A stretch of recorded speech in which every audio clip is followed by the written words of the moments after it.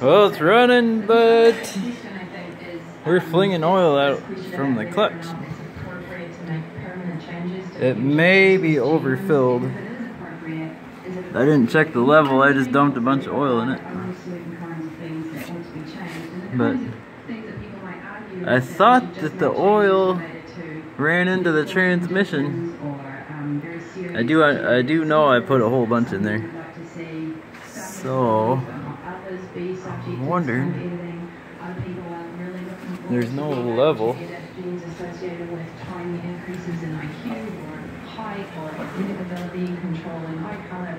I'll probably just open up this plug here and let it drain out.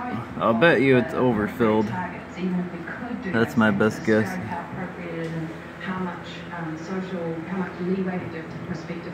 Or I should let it run. Maybe it, maybe the oil will work its way back here. I'm not sure. Hmm. Oh, back up.